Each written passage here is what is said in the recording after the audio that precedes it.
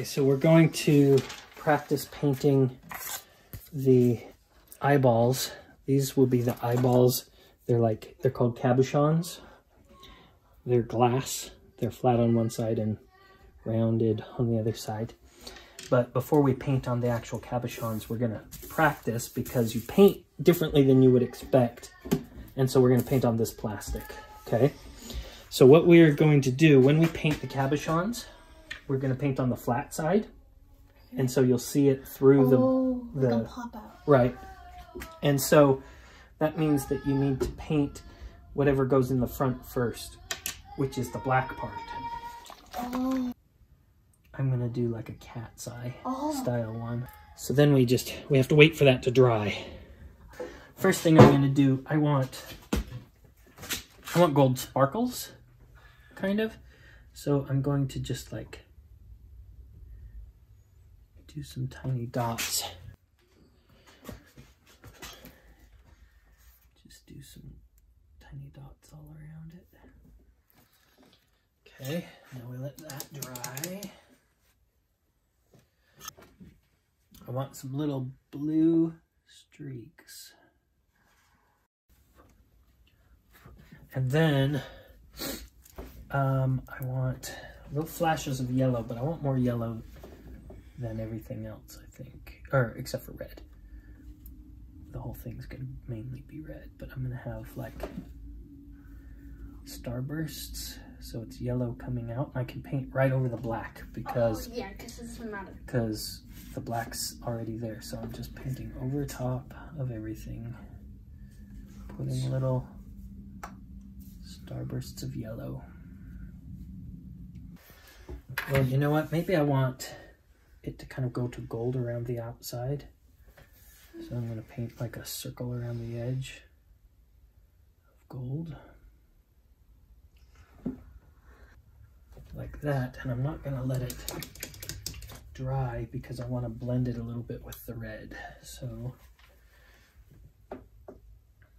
now I take the red and I'll just paint over all of this.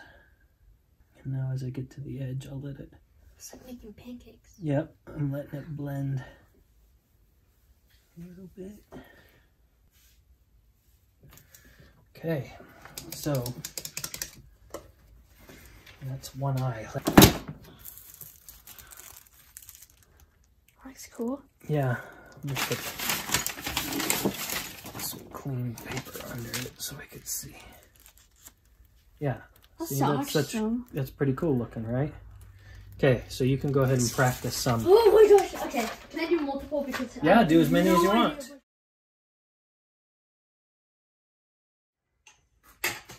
So yeah, you can try slits. You can try like if you Yeah, want, you can do multiple pupils and let them dry. You know. Oh yeah, I could do that.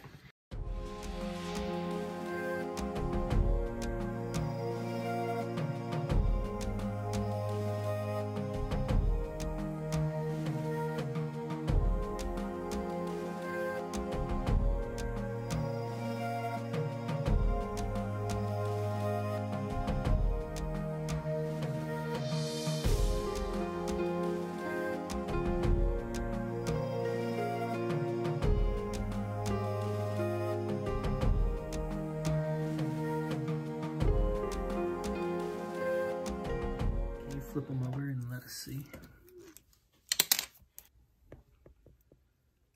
Those are cool. Which one do you like? This one. Okay. So let's do it for real.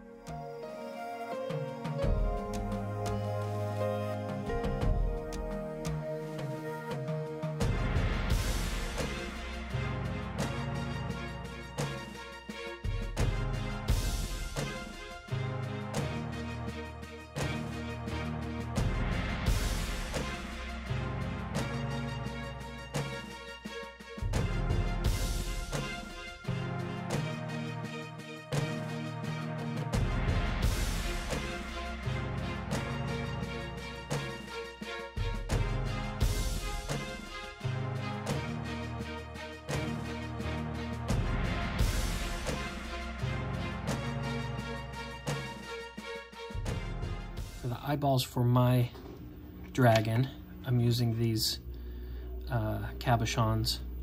They are uh, a little bit bigger than the ones Xander used. Here are Xander's eyes. His are, I think, half inch and mine are one inch. So the first thing we paint is the pupils. Now mine is going to be inspired by crocodile eyeballs, which have like slits.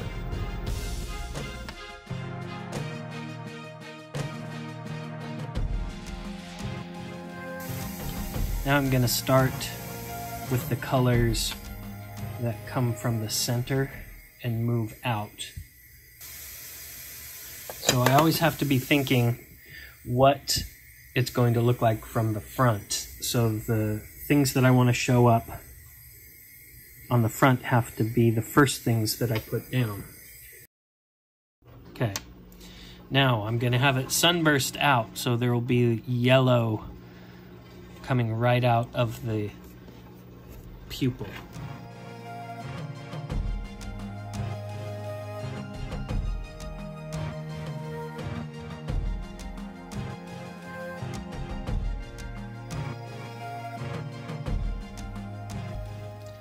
So next I'm to try something new. I don't know if this is going to work, but we're going to give it a try. I have here um, some rubbing alcohol. And I'm going to use teeny tiny drops of rubbing alcohol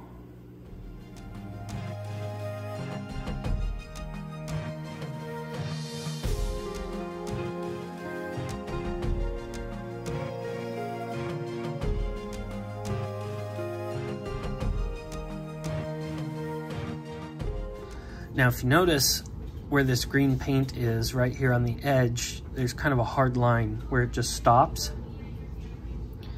Uh, I want it to um, feel softer, so I'm gonna use this knife and scrape the edge. Like this, put little cuts into it.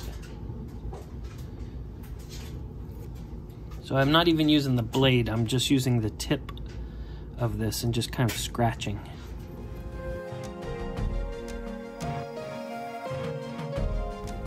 All right, nice.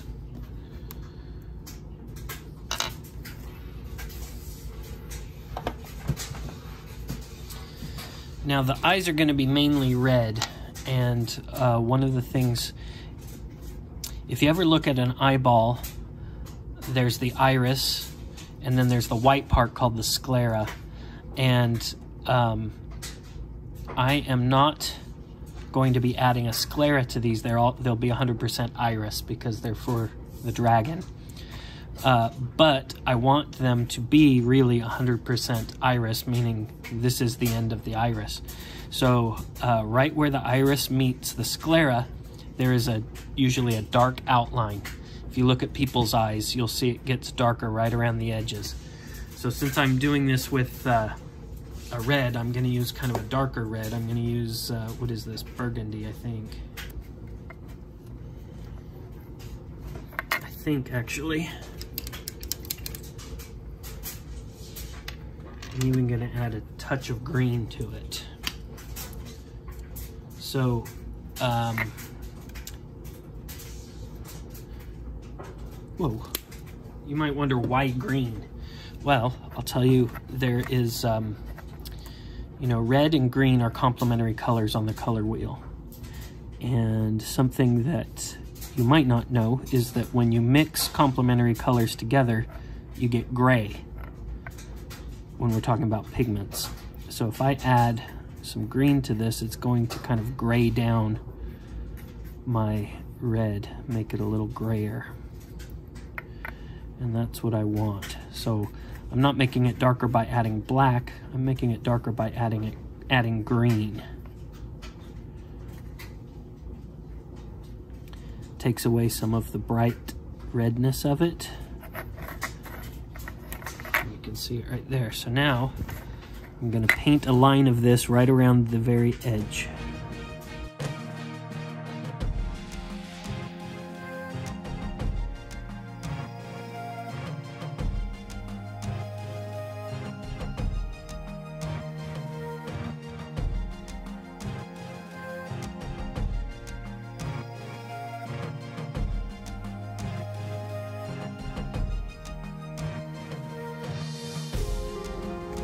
Okay, now a similar thing as I did with the green, I want the edge to be soft on these. So I'm going to do the same thing with the blade again. I'm gonna just scratch the very edges of it.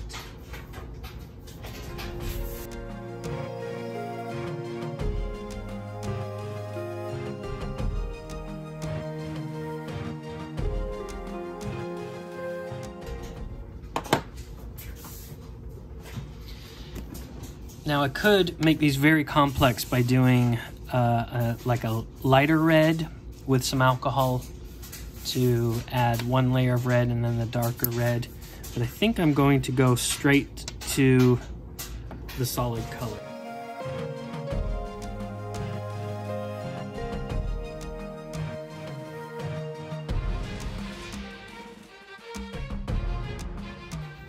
Okay, they're dry. Let's take a look and see how the finished product is looks. Oh, that's really neat. You can see the gold glittering in them when the light catches it. There you can see kind of the pattern that the iris muscles make in there.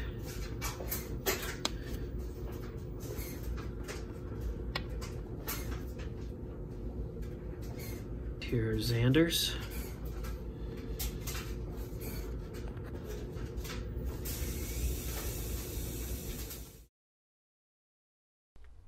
Now that we've got all the eyes made, we just need to prepare a place on our sculpture for the eyes to fit.